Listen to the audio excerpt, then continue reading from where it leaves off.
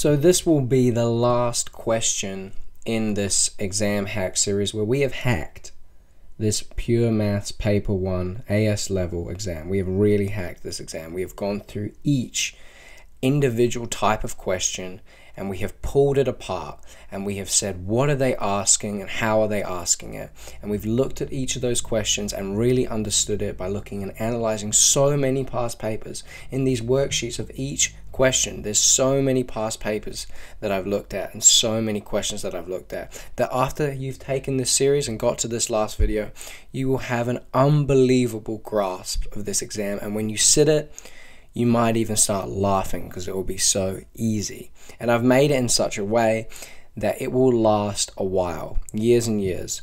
So anyone taking this even in the future, this will still be very valuable and very valid for you sitting this exam. So let's jump in to this last question, and this is the arithmetic and geometric series question. And like all past videos, I've made a worksheet outlining what is an arithmetic series and what is a geometric series. And then we've split it up into two types of way of asking. And they can ask it in a mathematical style or they can ask it in a real world example style. And that's the two types of questions. So we've got all those mathematical styles of asking on these arithmetic and geometric progressions. Um, you've got 10 past paper questions there and then you've also got these real real world style questions where they you know they give sort of an example um, and you also have to use these series and then you've got all of my answers there for you so 15 questions all answered for you so make sure to download that and I'm saying that the crux of this question is these um, like a lot of the questions, is these um, equations. So understanding these equations. So for an arithmetic series, all it is is that each each um, element of the series is just you add a difference to it. So your first one, your second element, simple, you add what add a d, which was what they call add a difference to get between each successive terms. Um, and for the and you should already know this. And for the geometric series, it's the same, but each successive term is actually times by some ratio. So there's a common ratio between successive terms. Anyway, we're just going to do a question in each of these, the mathematic style one and the real world style one. So let's do that now. Okay, so for this first question, we are said we're given a, so let's go A here. So we're given the third term is equal to a third, and the fourth term is equal to 2 over 9. And it says find the sum of an of the infinity of the progression, sum to infinity of the progression. So it wants us to find this. And like many of these questions, they give you some initial things and they ask you to find something else. So what you're going to want to do here is you're going to want to make sure to write out your uh, sum to infinity progression, which I should actually have, but we can always just look here. So this is your sum to infinity progression uh, equation here. And so what do we need? We need our u1. To define the sum to infinity, we need u1 and r, and we have to figure out how to find those. Well, we actually do have a uh, we can already get our r because the r is the ratio, the common ratio. So simply uh, u u4, so our fourth uh, element divided by a third element equals our r. So this will simply be 2 over 9 divided by 1 over 3, which is 6 over 9, which is 2 over 3. So our r is 2 over 3.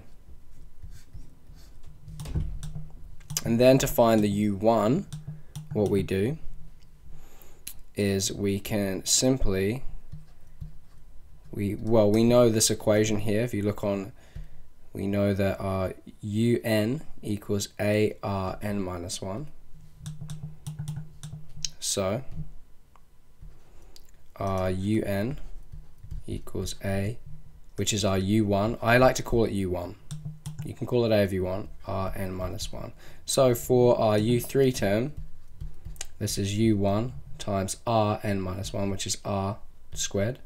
So this is going to equal to our u3 is 1 over 3 and our u1 is what we want to find and this is 2 over 3 squared. So this is going to equal to u1 of 4 over 9 so we get 3 equals we get 1 over 3 equals u1 times 4 over 9 times by 9 we get a 3 u1 4 u1 so our u1 actually equals 3 over 4 so now we have our u1 and we have our r. That means that we can find our sum to infinity which will be 3 over 4 divided by 1 minus 2 over 3 So this is 3 over 4 divided by 1 over 3, which is going to equal to 9 over 4. So our sum to infinity is 9 over 4. So that's your answer. So that's A. Now B. So B. A circle is divided into five sectors in a way that the angles of the sectors are arithmetic progression. So they always tend to give you a question for geometric and then a question for arithmetic. And given that the angle of the largest uh, sector is 4 times the angle of the smallest, to find the angle of the largest sector. Well, so that means that we can say U1 will be our smallest, the first element of the series, and we'll say our U5 will be our largest, well, it tells us that 4 times our smallest equals our largest. And it also, it's a circle. So that means the sum of the all of the five terms is going to equal to 360 degrees. So we have two relations here. And like before, it wants us to find what U5 is. So always I recommend, well, what do we need to find U5? So let's write out an expression for U5. Well, we know that in a uh, arithmetic series, we have, if you look at your formulas um, here, your un equals this. So u1 plus n minus 1 d. So our u5 equals u1 plus 4d. So in order to find our u5, we need to find u1 and d. Okay? So we can do that. So, or we can just find our U1. It doesn't actually matter because U1 is related to U5. So we can sub in uh, 4U1 here. So we get 4U1 equals U1 plus 4D. And then we get 3U1 equals 4D. So we can say our D is equal to 3 over 4U1. And that's important because now we can get another relationship. So we know that our S5 is equal to, and we look at this other equation here, Sn is half n, so half of 5, times our 2u1 plus uh, n minus 1, n minus 1, which is 5 minus 1, so it's 4d. And this equals 360. So we have one equation involving u1 and d, and we have a second equation involving u1 and d. And when you have two equations with two unknown variables, you can find each of those variables. And that's actually really important in these in these questions.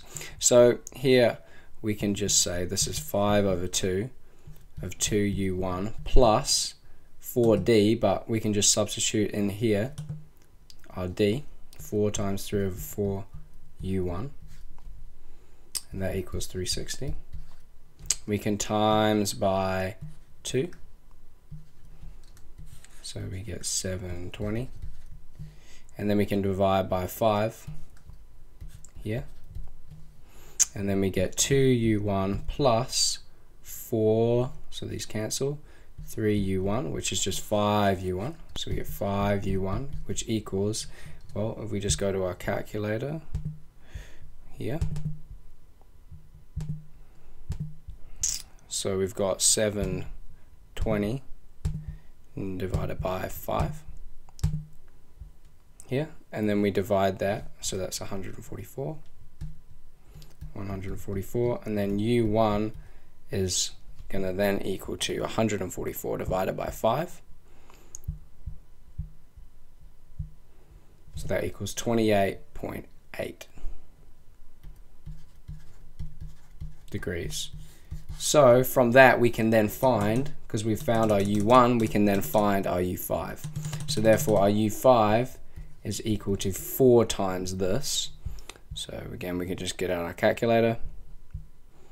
We go 4 times, oh, 4 times 28.8. So 115.2 degrees. 115.2 degrees, and that's your answer. So the key there is just to say, okay, what do we have and what do we need? Because we have an equation for the sum, we also have an equation for each element. And from that we can get two relations, two different equations involving D and, and U1. And from that we can find U1 and then find our largest angle. Okay, let's move on to the real world style question. Um, so a water tank here holds 2,000 litres when full and a small hole is in the base gradually getting bigger so that each day a greater amount of water is lost. Bit of a weird example, but it's still an example. Okay, so let's do I. On the first day after filling, 10 litres of water are lost, and this increases by 2 litres each day. So it doesn't say, but that's actually an arithmetic series. So our U1 here will be 10, because on the first day we lose 10 litres. And then our D will be 2 because it's getting 2 litres bigger every um, every day. So on the second day it'll be 12, then 14, etc. So A here, how many litres will be lost on the 30th day? Well, on the 30th day, U30 is just going to be U1 plus, remember again, this is just from this equation here, plus n minus third, I mean, what is it, 30 minus 1 which is uh, 29d. So we just substitute this in, we get 10 plus 29 times 2, which is 68, right? So it's 68 litres. So U30 equals 68 litres. So that's how many litres are lost on the 30th day. I mean, it's a pretty powerful thing. You know, just from this we can figure that out. So then the tank becomes empty during the nth day after filling. Find the value of n. So after n days, 2,000 litres are lost. So we wouldn't want to find UN, we actually want to find the sum. And the equation for our sum is this. And you'll see by doing lots of these questions that they're essentially always asking similar, you to use the same equations. This is n minus 1d. Well, so the sum, which means the sum of all of the terms up to a certain point, so like the sum of S3 would be the sum of the first term, second term, and third term. So we want to know after how many n's, how many days will it be completely empty? Well, it's when 2,000 litres are lost. So this is half n, so we can just times actually, 4,000 of 2 uh, u1, which is 10, plus uh, n minus 1 times 2. Okay, so let's just simplify this. We get uh, n times n 20 plus 2n minus 2. So it gives us n 18 plus 2n. So we get 2n squared plus 18n minus 4000 equals 0. We can divide through by 2 if we want. Minus 2000 0 and then we just substitute this in uh, minus 9 plus or minus the square root 9 squared minus 4 1 minus 2000 over 2 1 and I actually did this beforehand. And I think you get you get n equals like 40 point I think 1 5 or something. So that means that it says when will the tank, at what day after filling will the tank become empty? Well, on the 40th day, it's still not empty because of the 0.15. So we can say, because it's like individual numbers 1, 2, 3, and can't be 1.5. So it's on the 41st day when the tank will be fully empty. Okay, hope that makes sense. And then finally here, our II. Assume instead of that 10 liter, assume instead that 10 liters are lost, and the amount of water lost increases by 10%. So now it's a geometric series. So find what percentage of the original 2000 liters is left at the end of the 30th day after filling. So again, we're going to want to find the sum of 30, but this time our so and our u1 is still 10, but now we're dealing with a geometric series and it's saying that the amount of water loss increases by 10% each day. So the common ratio between the terms of how much water is lost every day is going to be 1.1. So you have, we want to find what S30 is, and then we can find how much percentage of water left from 2000. So our U1 is 10, and our R is 1.1. This 1.1 makes sense, right? If it if it's increasing the amount it's lost by 10% every single day, then timesing by 1.1 increases it by 10%. So 10 the next day will be 11, you know, increasing by 10%. Okay, so our S30 equals, well, we just go on our, here. So Sn is that, so it's u1 of 1 minus r to the n over 1 minus r. Just double check, make sure. Yep. And in this case, our u is that u1. So we get 1 minus 1.1, 30 over 1 minus 1.1. 1 minus 1.1. So if we plug this in to our calculator, so we do 1.1 to the power of 30 equals, then we do that minus 1, gives us that, times 10 gives us that. And then we divide it by negative 0.1 so divided by 0.1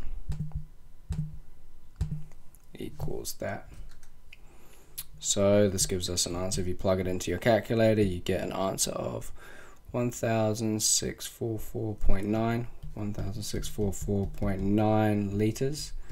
So the total amount lost after 30 days is 1,644, but the percentage, so the percentage of water left will simply be, will be our 2,000 minus 1644.9 divided by 2,000 times 100. So this will equal to, if we plug that in, 2000 minus our answer equals that divided by 2000 times 100. Oh, no. Hate this calculator. So 17.75%. So it's 17.75%. So that's your answer of the percentage of water. So we've done two questions there, real quick. A real, they only ask in these two ways, the real world example, where they ask a real world style question, or they can ask you in, in a mathematical way. And I say the most important thing uh, for this is to just, what are you given? What are your equations and what do you need? You see, I write down what I'm given, I write down what I need and what the equation that will get me what I need. So then I know I need U1 and R for this, so I can find my sum to infinity. And that's a common theme through this uh, arithmetic and geometric series question. That's all from me. Make sure you download this, work, download this worksheet, go through all these past paper questions, which I've all answered for you. And that's the end of this series, and I'll be doing future exam hack series on different exams in the future. But I'll see you in the next video.